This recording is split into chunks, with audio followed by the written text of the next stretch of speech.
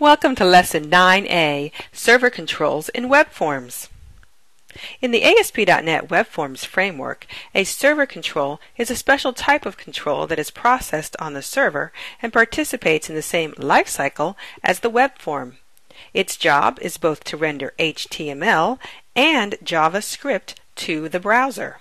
Microsoft Visual Web Developer 2010 Express comes with dozens of server controls for performing common tasks such as displaying data, collecting data, submitting data, and validating data.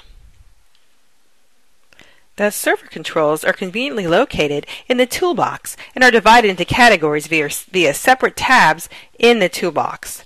There's a category for standard, controls, the data controls, validation controls, navigation controls, login controls, web parts, Ajax extensions, dynamic data, HTML, and then a general catch-all tab where you can put whatever custom controls or server controls that you want to put in there. Now the simple server controls include the label server control. The label server control renders a span element on the browser. The most basic server control is the literal server control. The literal server control literally just puts the text from the text attribute onto the HTML. Now, while these server controls that I've just mentioned map one to one with existing HTML elements, there are many server controls that are much more complex. For example, the calendar server control, when printed, takes five pages of text to print all of the HTML that is rendered by that control.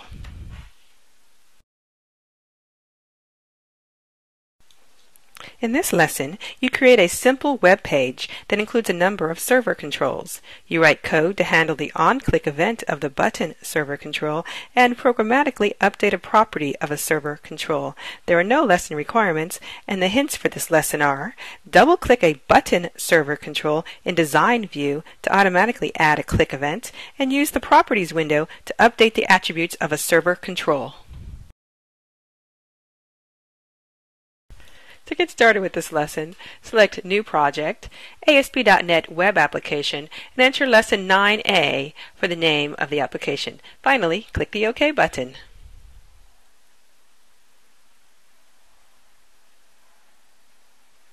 Select the About.aspx page and replace the Put Content Here text with three controls from the toolbox. The first control is a text box control, which you can just drag right on over. The next control is a button control, and notice these are in alphabetical order on my toolbox. And then the next control we're looking for is the the label control. Now close the Solution Explorer and open the Properties window to update the properties. Oops. There we go. The ID for the text box needs to be text box name.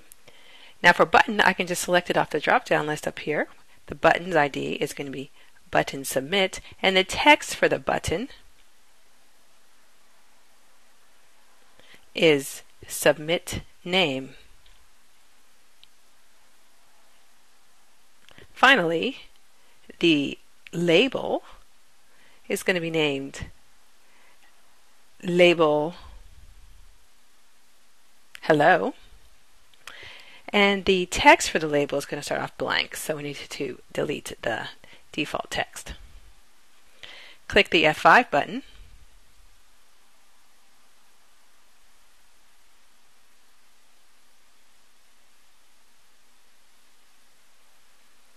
Now you can hit submit name, nothing happens. The page does the full post back, but nothing actually happens.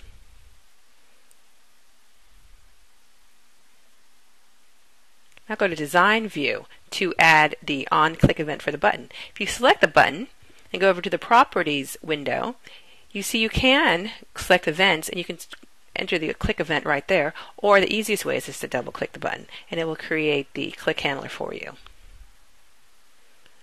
We're going to put one simple line of code here. This will set the text of the label to equal a string that just says hello. And we're using the string dot format again.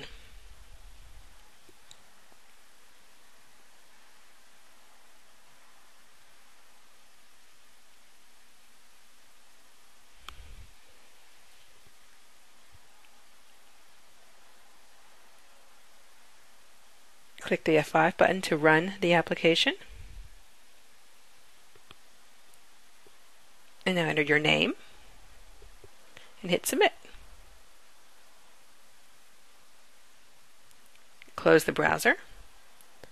Just to quickly show you how to apply a style to the label, go back to the label.